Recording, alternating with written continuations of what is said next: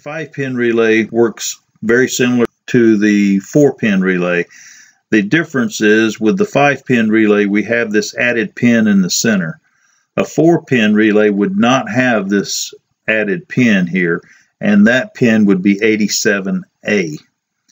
So a 4 pin relay would have pin 30, it would have pin 85, pin 86, and pin 87. Pin number 87A is added when you look at a 5 pin relay. In my case, I'm going to be using this 5 pin relay in order to wire up the motor shutoff.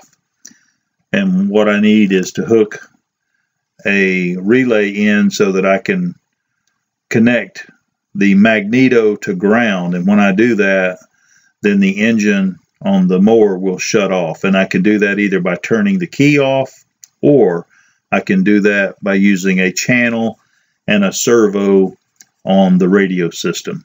So here's a look at the emergency stop circuit. You can see here the relay and I've noted the pins. You can also see that I'm using a micro switch and I've noted the pin names on it as well as an indicator light which has a positive and a negative. Now all of this system works off of 12 volts. To start with we're going to hook up the relay and I'm going to use a light to indicate whether the system is active or not. Obviously if the key is off then the system will not be active and the engine will not start. So if the switch is turned on and this green light is on, well then I know that the engine should start. So now let's go ahead and let me show you how I wire this up. Here you see I've wired up the positive side of the circuit. So we have coming from the key, when the key is turned on, I'm going to be sending power over to the positive side of this light bulb. Also, I'm sending power to the common side of the micro switch. And then I'm picking up on the normally closed side of the switch and connecting it to pin 86 of the relay. So this is the positive side of the circuit. And here we can take a look at the negative side of the circuit. So the first step is pin 87 from the relay needs to go to the negative wire on the bulb. And then pin 87A that is going to be connected to the wire coming off the magneto on the engine.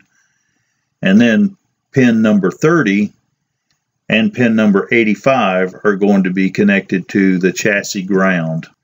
The way the circuit works is whenever the key is turned on, I'm sending power on the positive side of the light bulb and also I'm sending power down to the common pin on the micro switch and then I'm coming off of the normally closed side of the micro switch and going to pin 86 and because I'm using the normally closed side of the switch that simply means that power is going to run through the switch and go to 86 until the switch is pressed.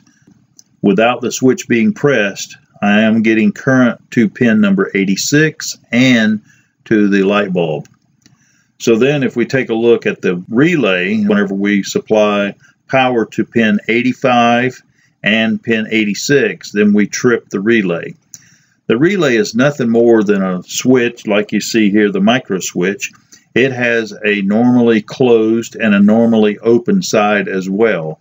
And in this case, the normally open side is going to be pin number 87 and pin number 87A is the normally closed side. In other words, if you do not connect power to the relay, then pin 30 and pin 87A are connected. If we supply power to the coil, which activates the relay, then pin number 30 and pin 87 are disconnected and pin 30 and 87 become connected.